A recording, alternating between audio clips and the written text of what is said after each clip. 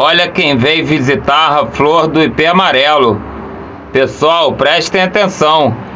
Esta não é uma mosca varejeira. É uma abelha, tá? Do gênero Euglossine. Euglossa ou abelha das orquídeas. Ela está muito interessada em recolher o néctar da flor do ipê. Pousou ali agora uma iraí. Ela vai dar uma chega para lá na iraí, quer ver? Prestem atenção. A iraí vai se chegar, ela vai dar um chega para lá. Opa, vou pegar um pouquinho mais de néctar. A iraí também está interessada em pegar néctar também.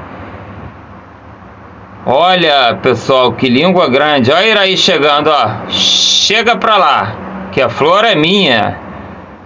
Vamos pegar mais um pouquinho de néctar aqui dentro que tá gostoso. A flor do ipê amarelo, ipê cascudo. Que língua grande, que abelha interessante, pessoal. Uma abelha linda, linda de se observar. E com brilho verde, muito bonito. E atenção, ela possui ferrão. Olha que abelha linda, o jeito dela voar lembra um, um beija-flor, não lembra pessoal? Um beija-flor?